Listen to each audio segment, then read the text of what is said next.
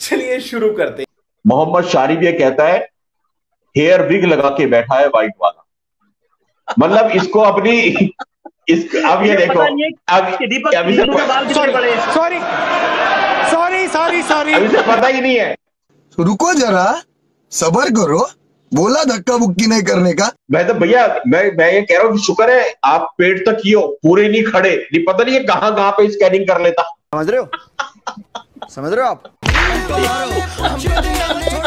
गजब बेइज्जती है। खत्म भाई क्या